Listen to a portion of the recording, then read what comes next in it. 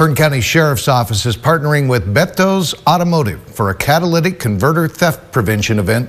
KCSO will provide free painting and etching of your catalytic converter on Saturday, February 24th. The etching or painting will match your license plate number, which creates a way for law enforcement to locate you if your stolen catalytic converter is found.